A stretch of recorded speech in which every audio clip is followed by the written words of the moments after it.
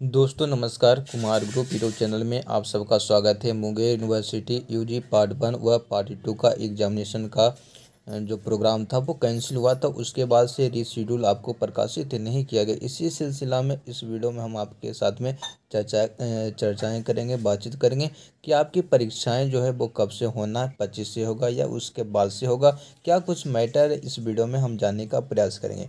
तो जैसा कि स्क्रीन पर देख सकते हैं, मैंने मेंशन कर रखा है यूजी पार्ट वन सेशन 2022 से 25 के लिए, ठीक है एंड पार्ट टू सेशन 21 से 24 के लिए B A B S C B com regular and backlog student ठीक है, सभी स्टूडेंट इसमें आ जाते हैं, जो कि सब्सिडी विषय की परीक्षा को लेकर के हम बातचीत कर रहे हैं।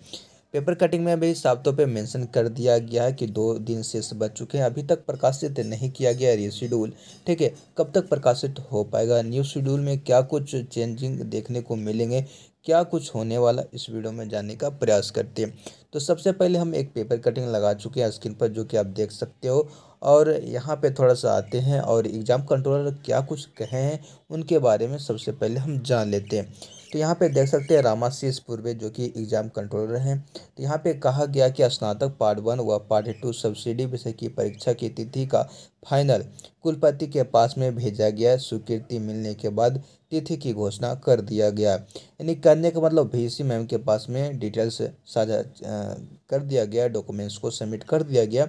अब वहाँ से अप्रूवल मिलने के बाद ही एग्ज़ाम कंट्रोल डेट का अनाउंसमेंट करेंगे। फ़िलहाल के लिए मान के चलिए, आज हो सकता है शाम शाम तक या देर रात तक आप देख लीजिए, यदि आज शेड्यूल जारी हो जाता है तो अच्छी बात है। नहीं तो फिर आपको ये मान के चलना होगा कि अट्ठाईस या फिर नेक्स्ट मंथ में लिया जाएगा।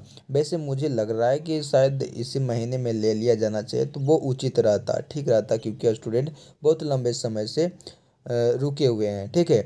बहुत सारे लोगों का कहीं और भी जाना होता है तो उस सिलसिला में भी स्टूडेंट रुके हुए हैं, क्योंकि एग्ज़ाम उनका कैंसिल हो गया था सब्सिडी विषय का।